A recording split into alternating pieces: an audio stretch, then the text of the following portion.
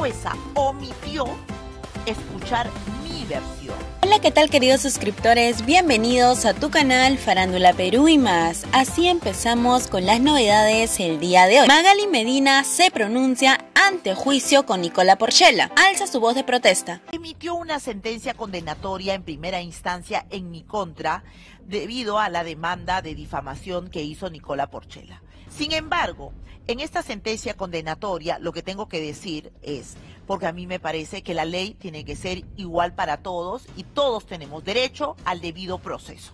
Magali Medina se refirió ante este caso que Nicola Porchela la demandó por difamación. Y en este caso, la jueza omitió escuchar mi versión.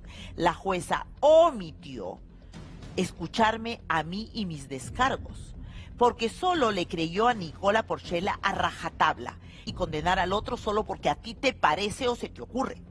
Nosotros presentamos como pruebas los videos para ser debidamente transcritos primero y visualizados después, para que la jueza vea en qué y cómo, en qué contexto se dijo lo que se dijo. Magali Medina se ve en la cuerda floja, ya que la jueza la sentenció sin que Magali Medina diera su descargo. Y ante esto, Magali Medina apeló y dio a conocer que cambió de abogado. Escuchemos las fuertes declaraciones de Magali Medina.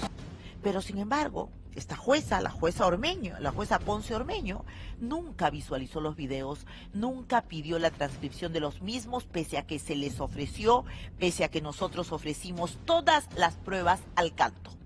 Yo he apelado, he cambiado además también de abogado y ahora será la décima sala penal liquidadora la que decida quién tiene razón.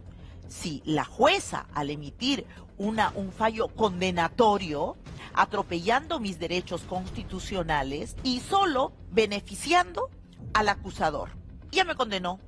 Estaría en la cárcel cumpliendo cadena perpetua si fuera por esta, por esos eh, razonamientos de esa jueza. Ya, si te creo lo que dices y tú condenada. ¿Ustedes qué opinan ante este hecho? ¿Realmente Nicola Porchela ya le ganó el juicio a Magali Medina? ¿Magali Medina le pagará por los daños? Déjame su opinión en la cajita de los comentarios y no olviden de suscribirse y activar la campanita para más información. Nos vemos en una próxima edición de Farándula Perú y más. Bye bye.